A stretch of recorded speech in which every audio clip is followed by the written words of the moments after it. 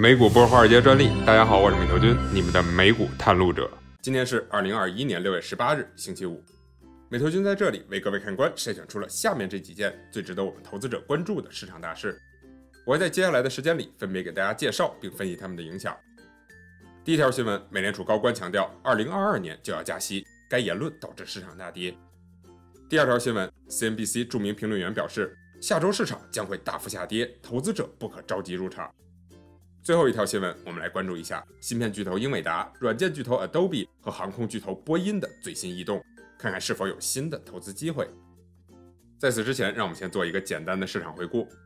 今天美股三大股指全线下跌，其中道琼斯指数下跌幅度最大，下跌了五百三十三点，跌幅为百分之一点五八。纳斯达克指数在下跌相对较小，下跌了一百三十点，跌幅为百分之零点九二。标普五百指数跌幅居中，下跌五十五点，跌幅为百分之一点三一。从各个板块上看，今天所有板块均以下跌收盘，无一幸免。其中金融、公用事业、能源这三个板块跌幅巨大，收盘跌幅都接近或超过了百分之二点五。科技板块以及非必需消费品板块跌幅较小，都小于百分之一。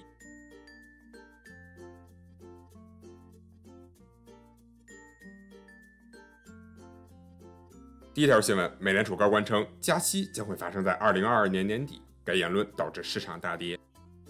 周三的美联储利率决议是本周市场几乎所有的焦点所在。对于声明和新闻发布会的详细内容，我在周三的视频中已经做了详细的归纳和总结。然而事情似乎并没有到此就结束，今天又有一个身份地位十分特殊的美联储高官给市场放分儿。今天市场的大跌，很大一部分原因就是因为这位大哥的一些令人担忧的言论。这位美联储高官 Jim Bullard 在今天的采访中说道：“随着通胀上涨的速度超过预期，他认为第一次加息应该会发生在2022年年底，这比在周三美联储利率决议中预测的2023年年初还要更早。”之所以说 Jim Bullard 的身份地位十分特殊，是因为他今年在美联储并没有任何投票权，但是明年他将会成为美联储的票委，拥有投票权。在采访中，他又说2022年就要加息，显然预示着他明年会对加息投赞成票。这会直接影响美联储的加息计划。至于为什么要提前加息，布勒在采访中给出了非常清晰的解释。他预计今年全年的通胀都会超过百分之三，并且在二零二二年还会维持在百分之二点五左右。按照这个预测，在二零二二年年底的时候，通胀就已经有了两年多的时间会大幅超过美联储设定的目标百分之二。如果有这么长的时间都远高于通胀的目标，那美联储就应该要做出行动，让通胀回落至百分之二的区间。因此，二零二二年年底就应该要开始加息了。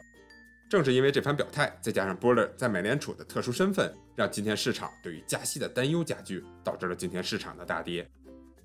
对于 Buller 的言论，今天市场上也有几位投行大佬给出了一些回应。投行 Apollo 的合伙人在采访中表示，在听完 Buller 的言论后，他认为尽管通胀是一个潜在的风险，但目前的通胀水平并不需要美联储过度的担忧。美国现在的经济发展的非常好。GDP 增长、就业率都高于预期，随之而来的通胀是再正常不过的事情了。不过，他也说，现在美联储所有的精力都放在通胀上，这对于市场来说其实是一个好消息。另一个投行大佬 Rosenberg Research 的创始人 David Rosenberg 也对 Buller 的言论发表了一些看法。他认为，美联储的言论都在动态变化，对最近鲍威尔和 Buller 的一些表态，其实不必过分担心。不过，他也提到，市场总是很容易对美联储的讲话产生过度反应，而现在市场的估值也并不便宜，因此出现一些回调的现象也是正常的。除了上述两位投行大佬，目前市场主流的声音也还是认为美联储依旧属于鸽派。周三联储会议中给出的新信息，包括更新的点阵图、购债计划维持不变以及并未退出 QE 等信息，都仅仅代表了美联储从极度鸽派转为鸽派。再加上最近大宗商品回落，缓和了通胀的担忧，市场这几天的反应也还算比较温和。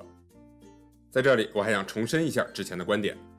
对于美联储的利率决议以及可能的加息噪音，我个人是并不担心的。我也不认为这会成为一个系统性的风险，造成市场显著的下跌。周三美联储的利率决议，在我看来所释放的信号也是积极大于消极。尽管现在的政策风险会让市场面临一些波动，但是在经济复苏的大背景下，我认为市场下半年大概率会在跌跌撞撞中继续上涨。在大方向上，美股的趋势依旧向好，咱们投资者也不必过分担心。我也会时刻关注最新的消息，及时为大家带来更新。第二条新闻，CNBC 知名评论员 Jim Cramer 警告，下周市场将会继续大跌，投资者不要着急入场。这周道指迎来了年内最大单周跌幅，标普五百也出现了明显的回调，不少投资者开始蠢蠢欲动，琢磨着要不要入场抄底。今天 CNBC 著名评论员 Jim Cramer 警告称，下周美股将会非常难看。如果你是个机敏的投机者，应该周一开盘就做空大盘，然后周五结束做空，开始做多。如果你不愿折腾，也应该留好子弹，等下周大跌过后再买入股票。不过，他也给出了一些机会和入场的时机。Jim Cramer 可不是普通的新闻评论员，他的话经常能够对于市场造成一定的影响。接下来，咱们就一起来看一下他为什么这么认为。Jim Cramer 给出了以下几点理由：第一，根据历史规律，在美联储公布利率决议后的一周左右的时间内，不管内容如何，市场的表现往往都不太好。不过，历史也表明，这样的下跌并不会持续太久。经过一周左右时间的消化，市场往往会出现反弹。分析师 Larry Williams 从另一个角度佐证了这个观点。他表示，美股有显著的季节效应，一般在六月接近尾声的那周，往往会出现一次明显的下跌。就像去年六月二十三至二十六日那周，美股指数就下跌了接近百分之五。而到了七月初，美股往往就会快速反弹。去年七月初的两周内，美股上涨了接近百分之六。Larry 给出了一套交易策略，那就是在六月的最后一周开始前做空美股，然后一周后开始做多。经过回测，这个策略在过去二十二年间都能赚到钱。第二，Jim Cramer 认为美股也不会无缘无故的下跌，下跌的导火索很可能是大宗商品价格的下跌。目前美联储已经尽了最大的努力来缓解市场对于通胀的担忧。这很可能意味着通胀在达到历史记录后可能会开始回归，大宗商品首当其冲，价格将受到巨大的打压。我们已经看到了，包括中国在内的一些国家开始刻意打压大宗商品的价格。另外，近期上涨的美元也不利于大宗商品价格。第三，对于市场七月的回归，Jim 也给出了他认为的催化剂，那就是美联储持续的宽松货币政策。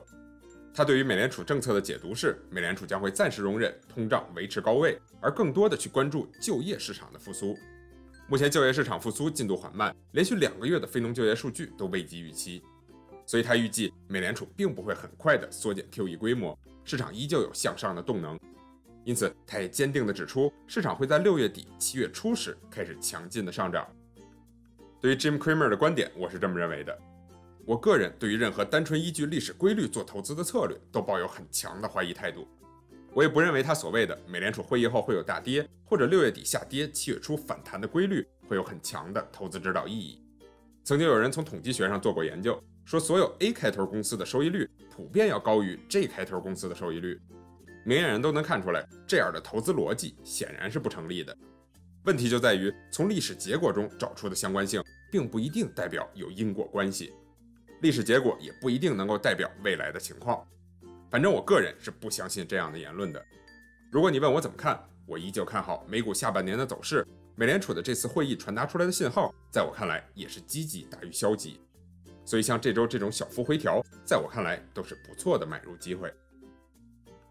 第三条新闻，我们来看一下三家出现了格局性变化的热门公司。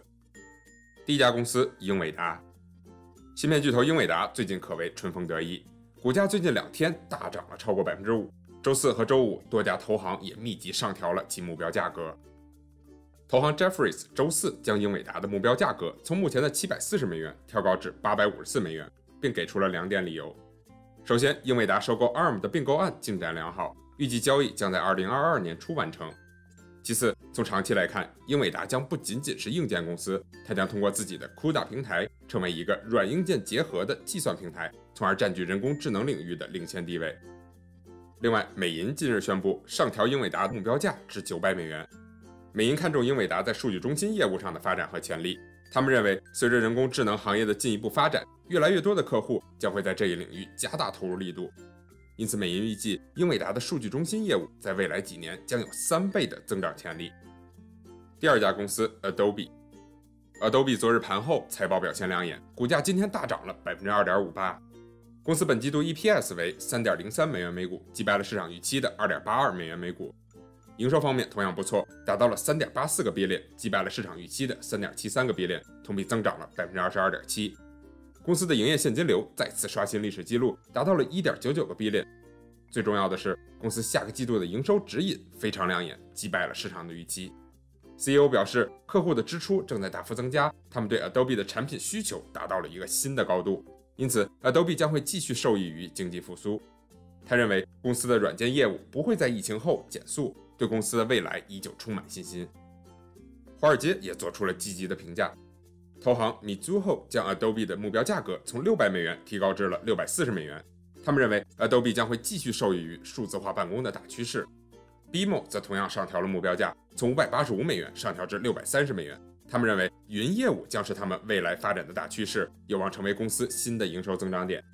而 BC 则将目标价格从五百七十五美元上调至六百五十美元，认为 Adobe 所有的业务线都表现良好。另外，它在全球各地的发展都十分均衡，Adobe 将在相当长的一段时间内继续保持领头羊的地位。第三家公司波音，虽然受道指的拖累，波音今天下跌了百分之零点七四，但公司今天传来了重大利好消息。华尔街日报报道，美国和欧盟终止了之间长达十七年的客机补贴之争，搁置了互收百分之十五的惩罚性关税。该协议对于波音至关重要。因为目前波音正努力应对航空业的低迷势头，许多客户不愿或者无法接受新飞机。航空分析师 Rob Steller 表示，在波音公司需要销售飞机之际，该协议可以消除关税的障碍，波音不再受到被欧洲市场因为关税而拒绝的威胁。